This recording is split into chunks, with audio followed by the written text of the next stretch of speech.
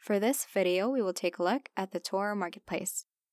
The Toro Marketplace is your number one source for ready-to-use Martini extensions that ease application development. Let's start by browsing the Toro Marketplace and filtering the Martini extensions by category. As of this video, Martini extensions are available in the following categories Toro APIs,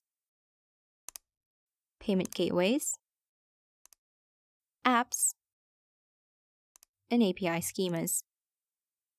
With the ever growing number of published Martini extensions, you can use the available filters, especially the search bar, to help you look for Martini extensions that meet all or one of your application needs so you can save time and focus on what really matters. And rest assured, all Martini extensions on the Toro Marketplace will be curated and verified by Toro Cloud. Searching and installing an extension on Martini is easy. Say we want to install the Amazon Workmail and Workspaces API schema in our Martini package.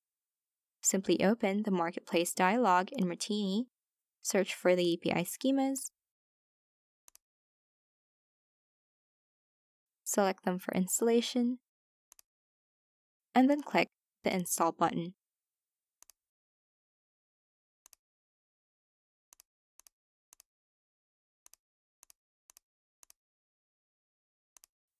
After the installation, the API schemas will now be in our Martini package and are ready for use. We can also make a request for our own Martini extension to be published to the Toro Marketplace.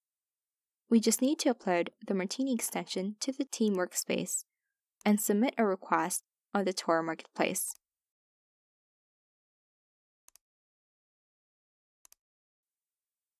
Our Martini extension will then be reviewed by Toro Cloud if it's eligible to be published. That's all for this video. Thank you for watching. For more information, please visit us at torocloud.com.